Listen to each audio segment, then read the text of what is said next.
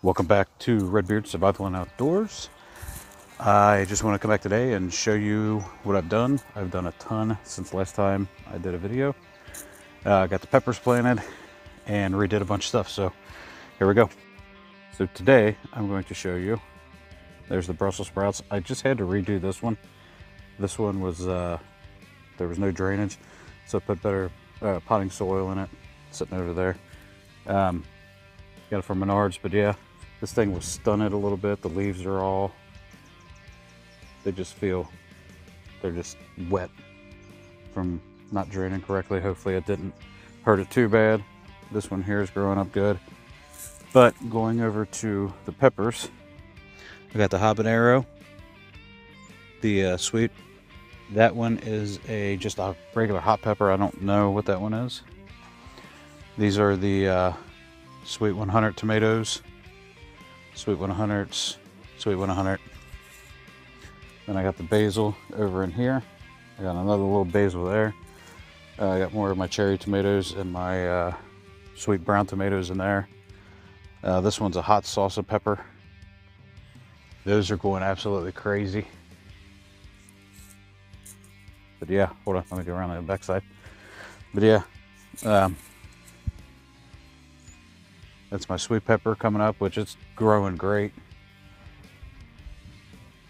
Pepper pepper, oh my God, I can't even pronounce this one. There you go, there's another one. It's growing good. Everything in here is growing up. That's at the broccoli and the this tomato here. I, like I said, I don't remember what tomato this is, but as you can see, maybe. Let me try to fix it. There we go. I am getting my flowers coming in on the tomatoes, which is awesome. And there's a ton coming in over on these also. Let me get in here. There's some more here. Some coming over here. So, try to get out of this bed before I break something coming over to the side yard.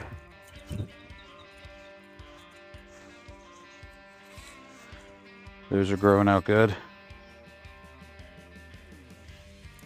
Also growing out good.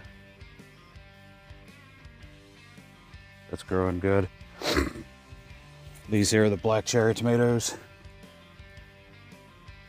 I don't know if I just planted them too late or what, but they're growing good. Those are uh, sweet 100 tomatoes and then the cucumbers and whatnot, or cucumbers, juicy beets, the uh, envelope there. So, guy's cutting his grass, I don't know. I put these headphones in, hopefully it don't sound like crap rustling around when I walk. But, uh, yeah, other than that, I'll go down the big garden here in a little bit, but that's about it for me. So, as always, stay at the ready, and I'll see you on the next one.